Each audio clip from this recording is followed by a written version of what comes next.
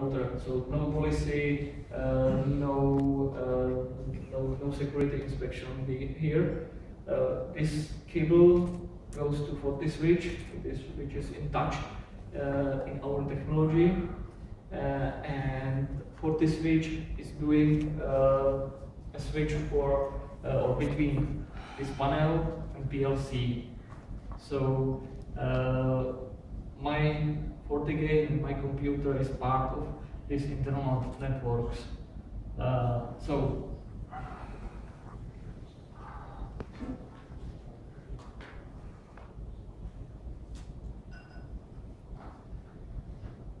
So give me a minute, I will start the virtual environment before we need some time. Uh, I will a little bit describe the device, what we are having here. Uh, this is, let's say, not SCADA, not ICS. It is very simple. We have um, uh, a box. Uh, the box is a PLC, Siemens Simatic. Uh, we have a human-machine interface, and we have two traffic lamps. So it means my goal is to simulate uh, something which is controlling the crossroad, the lights on the crossroad. By the way, I don't know how it's works here, but in Czech Republic, uh, exactly the same model of device is controlling uh, the crossroad lights uh, in, in Prague. So it is not so not so uh, imaginary, but it is very very real. So. Before we start, we start with the demonstration, I would like to show you the tool which is um, used for uh, creating a software uh, to the PLC. So I've got here my, my software. Um, it's called Totally Integrated Automation, um, TIA Portal. It is a very nice tool. You can create a software for PLC and also do visualization for human-machine interface using a single tool. So uh, in case of our uh, our demonstration, I need to share some values uh, from uh, the memory of PLC to the human-machine interface, and this is connecting uh, these two technologies, so it is very easily to, to demonstrate and show it. So I will open the project and I will show you the user program of the PLC. So everything important is uh, hidden here in program block. So I will open the OB1. This is the most important scan cycle loop. So you will see it in a few seconds.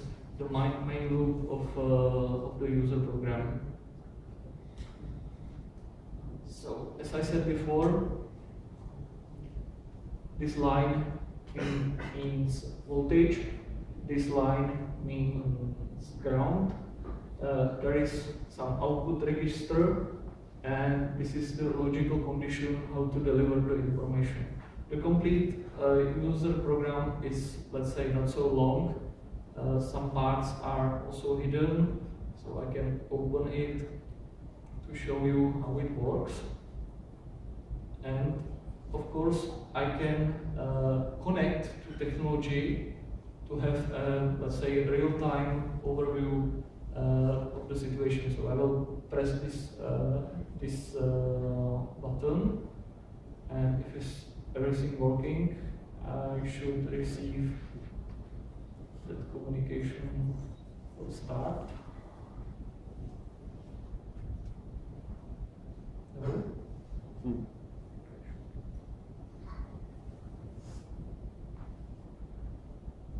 Yeah. So you see green color, uh, blue color, color, color, and if I start the technology, you will see that something is changing there. So it is pretty simple. I press the button here. Wow, it's working. so this is the normal way how it should work. So we have red, and we have to have wait in opposite direction, we have green, so we can go. And the technology or the software here uh, can somehow demonstrate how it works. It's quite complex piece of uh, software, so don't worry if you cannot understand what's going on here, but um, most important is that I can read using this special tool some values from, from the technology. And as I said before, uh, this was uh, this was my my goal uh, to to be able to connect to the technology also. So I will close this application, going to offline mode, and. Um, I will open my application. Hopefully you can see it.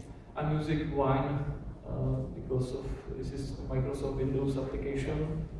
Uh, so I'm using Wine to run this application on uh, OS X. Uh, what I need to connect to the device is only here, the IP address. So I will test if uh, I'm getting the response. The IP address of the PLC is 01.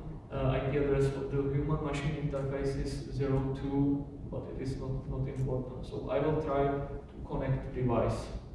Wow.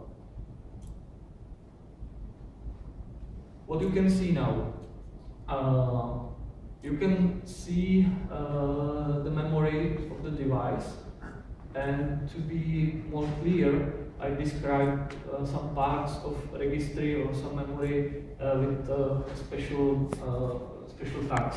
So here we, we have outputs. So if you will watch uh, the technology and you will see changing colors here and compare it with the real state, you will see that there is something which is which is common. So this is green, this is yellow, this will be red, and this is red, this is yellow, this is green. So somehow it's corresponding. Also we have inputs. So I can press a button here on the panel. So I will press this button and you will see input 0 is green. So using such a very simple tool, I can read the memory. I can read also not only inputs and outputs, but also the internal states. So as you see before in the TIA portal, uh, there's a lot of, uh, let's say, internal variables, and I can read these variables too.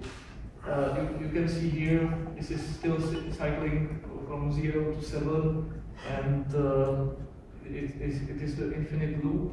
So it's a stateful automat which is handled and this uh, register M2 is determining the current state of, of, of the communication. So I can read information. It is also important if I can write an information. So as you can see, there's a checkbox and I can try to manipulate with PLC to send some special commands to device. So I can do it like turn all outputs.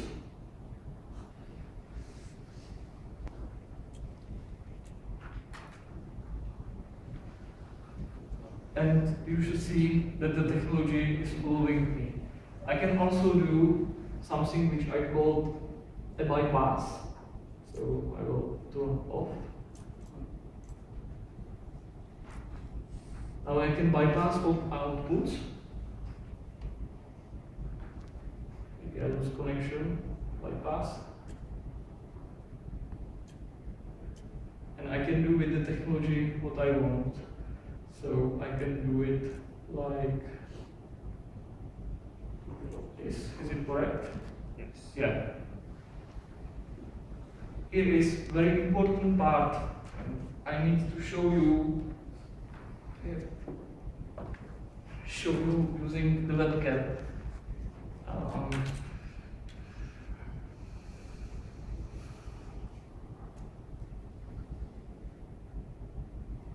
not this webcam, but webcam.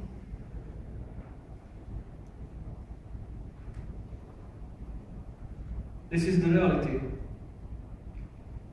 Operator sitting in front of uh, human machine interface device is seeing absolutely normal state. And that's because I'm able to rewrite outputs of the PLC, but I'm not touching the internal variable which are used for, let's say, visualization. Uh, I got a very simple picture how it works exactly inside. So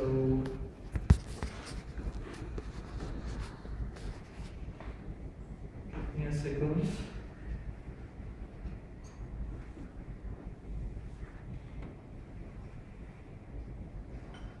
This is how it works. I've got the PLC, and the PLC is running the, the loop with, with the user program.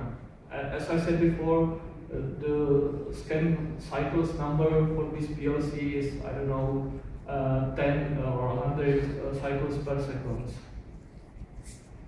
So, or the scan cycle, it can take, I don't know, 100 milliseconds. In this cycle, the device read inputs, do the user program, and write outputs.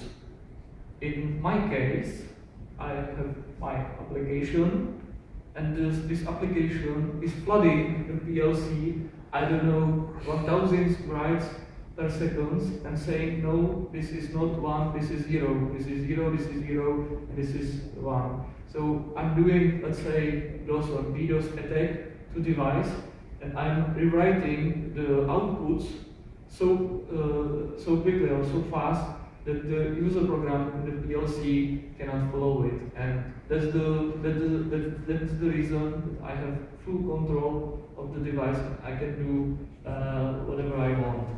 The only condition is you need to be connected to the PLC directly. Yeah, for sure. I need the connection. This is very critical. But as you can see, uh, for the connection, where is the application? Here. I need only the IP address. Yeah, but it's physical connection. If you are connected, it's okay. You, Yeah, sure. So, this is the situation. Uh, very important is also uh, the way that I'm was I was not, not asked for some credentials or username or password. I can directly connect whatever PLC I want without any uh, without any username and password. So this is the uh, this is the let's say not so favorite part. And uh, my goal now is to show you how to secure such communication using FortiGate. So I will open the FortiGate way. Hopefully